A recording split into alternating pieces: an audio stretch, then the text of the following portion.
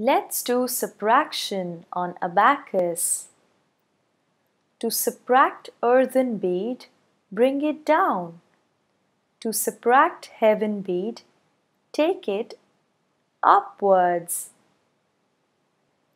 Let's subtract 4 minus 1 minus 1. Take 4 earthen beads upward to show number 4. In order to subtract 1, bring one earthen bead down. To subtract one more, bring another earthen bead down. Now we have only two earthen beads which are touching the skyline. That means our answer is 2.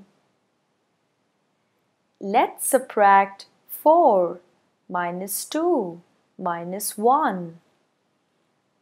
Take 4 earthen beads to show number 4. Now to subtract 2, bring 2 earthen beads down.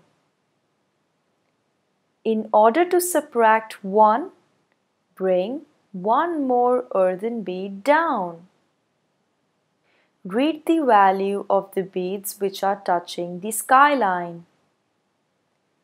Answer is 1.